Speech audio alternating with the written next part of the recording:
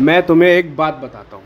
ये शायद तुम्हें पहले से भी पता होगी। ये जो दुनिया है ना दुनिया ये भैंचोद इतनी मतलबी और इतनी हरामजादी है ना कि तुमको तुम्हारे घुटनों पे ला के रख देगी। अगर तुम उसे ऐसा करने दोगे तो। समझे? और वहीं पे रखेगी अगर तुम नहीं उठे तो। इस ज़िंदगी में इस दुनिया में इस ज़िंदगी जो कि लाइफ है उससे ज़्यादा ताकतवर को, कोई नहीं है।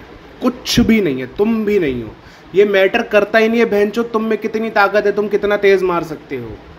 जो मैटर करता है, वो ये है कि तुम ज़िंदगी की मार कितनी तेज सह सकते हो और सहने के बाद भी, बहन दोबारा उठ जाओ। समझ रहे हो? दोबारा उठ जाओ। इसलिए आज के बाद ये कहना छोड़ दो कि मुझे ये बनना था, मुझे वो बनना था, मैं फलाने के चक्कर में नहीं बन पाया, मैं इसके चक्कर में नहीं बन पाया। तुम्हारी खुशी, तुम्हारे सक्सेस और तुम्हारी ज़िंदगी के लिए जो इंसान जिम्मेदार है, वो हो तुम। राजा जो है, अकेला गद्दी पे बैठता है, अपनी रानी के साथ भी नहीं बैठता है। राजा बनो, सिपाही नहीं।